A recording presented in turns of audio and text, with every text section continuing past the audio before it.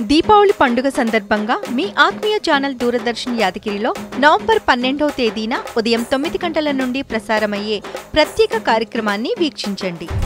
ఉదయం తొమ్మిది గంటలకు బ్రహ్మశ్రీ కాకునూరి సూర్యనారాయణమూర్తి గారి ప్రత్యేక ధర్మ సందేహాల కార్యక్రమంలో దీపావళికి మన సంస్కృతి సాంప్రదాయాలకు సంబంధించి కాలర్స్ అడిగే సందేహాలకు తనదైన పందాలో సమాధానాలిస్తారు.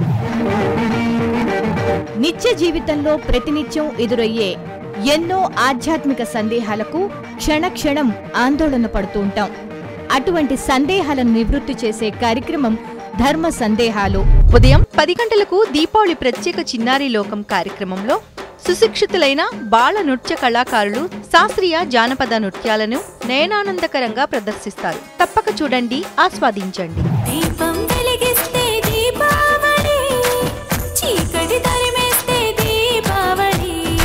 ఉదయం పది గంటల నలభై ఐదు నిమిషాలకు శ్రీ కల్వకలను శ్రీరామచంద్రమూర్తి గారు దీపావళి విశిష్టత ప్రత్యేకత ప్రారంభం మొదలైన అంశాలను తమ ప్రవచనామృతంలో వివరిస్తారు విశదీకరిస్తారు.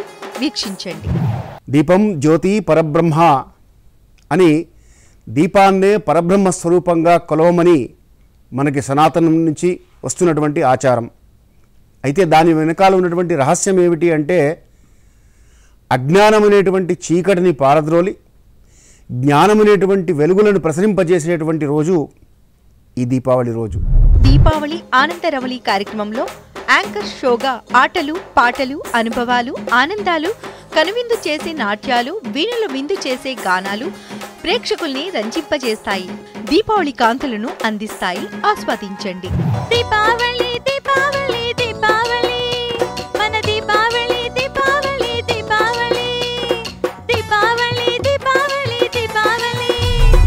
మధ్యాహ్నం పన్నెండు గంటలకు ప్రముఖ సినీ గేయ రచయిత శ్రీనివాస మౌళి గారితో ముఖాముఖి చిత్రసీమ కార్యక్రమంలో గేయ రచయిత శ్రీనివాస మౌళి గారు తమ సినీ ప్రస్థానాన్ని గాన రచన వైభవాలను తెలియచేస్తారు. నా రైటింగ్లో ఒక అడ్వాంటేజ్ ఏంటంటే నేను రాసేది సులువుగా ట్యూన్ చేయగలిగినట్టు లేదా ట్యూన్కి అందంగా అమరేటట్టు ఉంటుంది అనమాట అంటే శబ్ద సౌందర్యం అంటారు. రెండు రక రెండు ఉంటాయి కదా శబ్దము అర్థం సో శబ్ద సౌందర్యం చాలా బాగుంది. అర్థం లేదా భావం మనం ఏం చెప్తాం అనేది అప్ టు ద సిచ్యువేషన్ అది రాసేవాళ్ళ స్థాయి బట్టి ఉంటుంది. మీ ఆత్మీయ దూరదర్శన్ యాదగిరిలో నవంబర్ పన్నెండవ తేదీన ప్రసారమయ్యే దీపావళి ప్రత్యేక కార్యక్రమాన్ని కనులారా చూడండి మనసారా ఆనందించండి.